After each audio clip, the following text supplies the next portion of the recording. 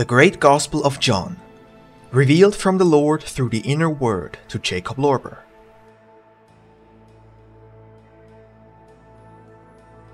Volume 8, Chapter 185 to 187.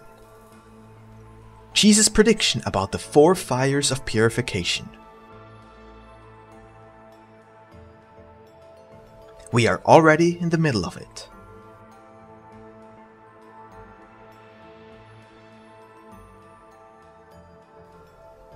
Chapter 185 The first two kinds of fire of purification. The Lord says, Then the innkeeper, the father of Kado, stood up and said, O Lord and Master, then how will it look like in the time of which you have said that the people will then be purified by fire before your return? And what kind of fire will it then be?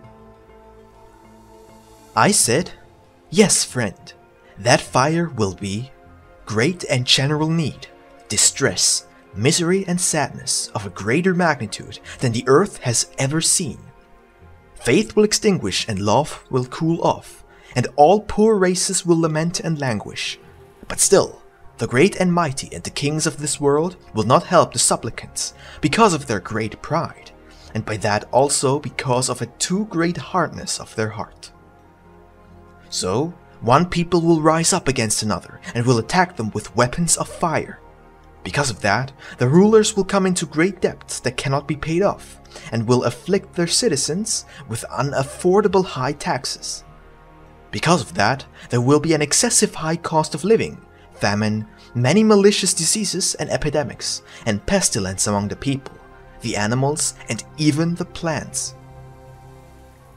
There will also be heavy storms on the mainland and on sea, and earthquakes, and the sea will flood its shores in many places. And then the people will come into great fear and anguish because of the expectation of the things which will then come over the earth. All this will be allowed in order to turn the people away from their pride and their selfishness and their great laziness.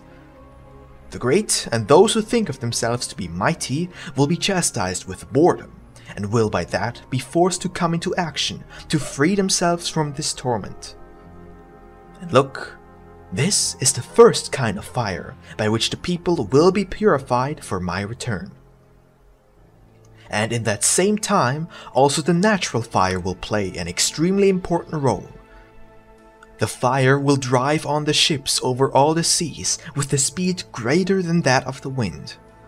Also, men will make with their sharp intellect iron cars and roads, and instead of pack animals, they will harness fire to the cars, and with this great power, they will drive off far over the earth, faster than an arrow that has been shot off.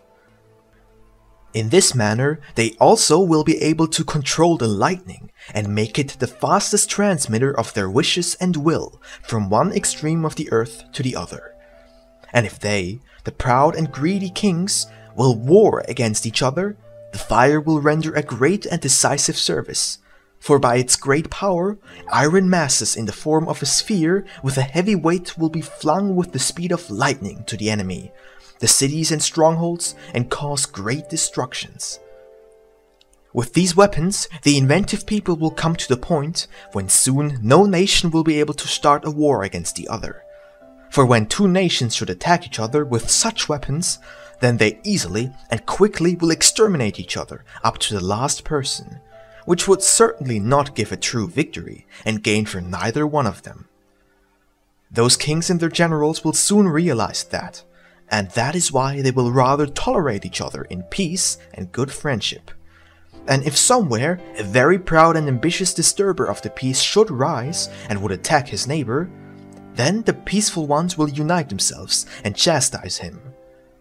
And in this way, the ancient peace will be set for the people on earth and will be established durably. If one will count from this my actual presence almost 1890 years, there will hardly be any more war on earth, and more or less in that time, also my personal coming on this earth will take place, and the greatest enlightenment of men will begin. Although there still will be wars among the more primitive peoples of the earth, but these will also soon become impossible among them. I will drive them together with the help of my righteous and my mighty kings and generals, and let them pour out my light among them. And then they also will be changed into peaceful nations dedicated to the light. Look, this is the second kind of fire by which the people will be purified. Chapter 186 The third and fourth fire of purification. A third kind of fire will consist in the fact that I will awake already a few 100 years earlier even clearer enlightened seers, prophets, and helpers, who will, in my name, just as clear and truthful, teach the peoples everywhere about everything, and will thus free them from all kinds of lies and deceit. They will clear the way for the downfall of false prophets and priests, even in my name. The latter will start, in a not too distant future, their evil beginning, and here and there they have started it in this my time already. They will, just like the pagan priests, perform false signs and wonders, and will deceive many people by which they will provide themselves with great earthly treasures, riches, might, and great prestige, but by the third fire and its most bright light, they will lose everything and go completely to ruin. And the kings and princes who want to help them will by that lose all their might, their wealth, and their thrones. For I will awaken my kings and generals against them, and will give them the victory. And so, the ancient night of hell and its messengers among the people on earth will come to an end. As this night now consists in the pagan, blind, and useless ceremony, which they call divine service, it will also exist in those times.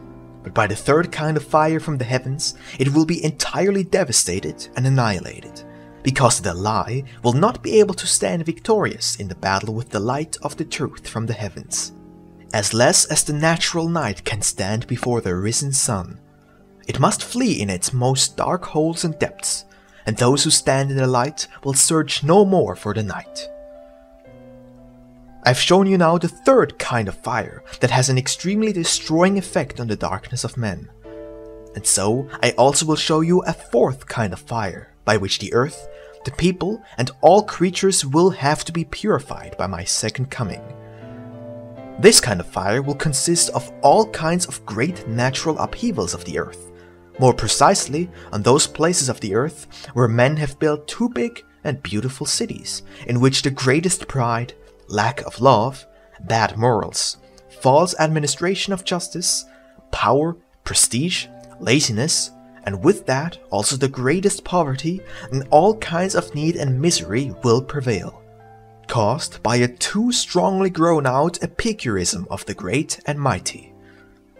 In such cities, through excessive pursuit of profit, all kinds of factories will be built on a large scale, and instead of human hands, the work will be done by fire and water, together with a thousand different kinds of artful machines that are made of metal. The heating will be done by means of the ancient coals of the earth that men will acquire in extremely great quantities from the depths of the earth. Once such activity will have attained its highest point by the force of the fire, the air of the earth will become too strongly saturated on such places of the earth with combustible kinds of ether, and these will soon ignite here and there and transform such cities and regions, together with their many inhabitants, into ruins and ashes. And that will then also be a great and effective purification.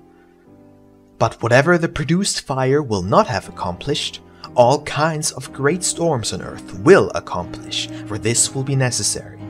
For without necessity, nothing will be burned or destroyed.